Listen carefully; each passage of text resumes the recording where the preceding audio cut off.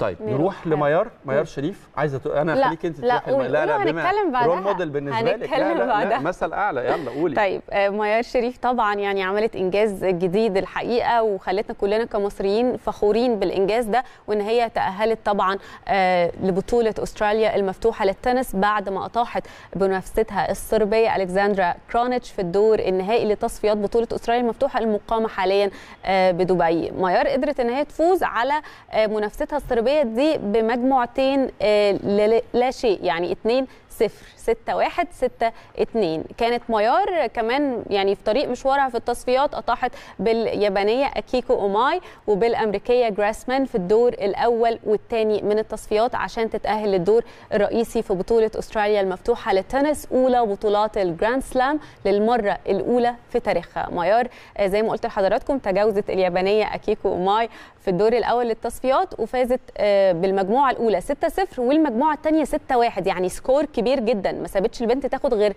آه، شوط واحد طول المباراة وأطاحت بعد كده بالأمريكية آه، جراس. بالمجموعات كانت 6-3 6-2 بعد مباراة ماراثونية استمرت تقريبا ساعتين. ميار شريف زي ما حضراتكم عارفين أول لاعبة مصرية في التاريخ توصل للدور الرئيسي في إحدى بطولات الجراند سلام الكبرى بعد ما تأهلت للدور الرئيسي ببطولة رولان جاروس في أكتوبر الماضي وأول مصرية تتأهل لدورة الألعاب الأولمبية. هتلعب في آه، أولمبي- اولمبياد طوكيو أو طوكيو Olympics في 2021 أنا بيتهيألي بطولة أستراليا اللي جاية دي هتكون محط أنظار المصريين يعني حتى اللي مش بيتفرجوا على التنس أو اللي بيحبوا لعبة التنس هيتابعوا ميار أنا مش ونتمنى إن هتفرج شاء الله. عليها غير عشان ميار لأن روجر فيدرر ما بيلعبش فنادال آه. وجوكوفيتش بقى يقطعوا بعض مع نفسه